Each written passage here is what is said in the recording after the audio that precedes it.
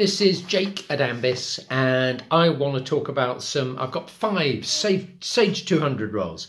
I've always got lots of Sage 200 roles, but at the moment they are um, Sage 200. I've got a company uh, looking for somebody in Leeds. This is a new office, so you will be sort of a big fish in a in a very small pond. They have lots of autonomy, but at the same time, they've got good support. They've got good sort of application support and technical support and project management and sales. So that's a good, good one. Uh, I've got a Sage 200 role that is home based, working for one of the biggest um, uh, Sage resellers. That's 40k in a car.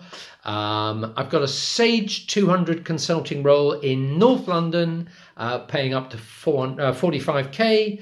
I've got a Sage 200 role in Slough, um, working for a really nice Sage 200 re- reseller. I've got a Sage 200 support job in Enfield, and I've got a Sage 200 consulting role in Bristol. So Bristol, Enfield, Slough, North London, uh, home based, and Leeds. So, if any of those jobs are of interest, uh, please get in touch with me. It's Jake at Ambis. It'd be lovely to hear from you. Thanks then. Bye bye.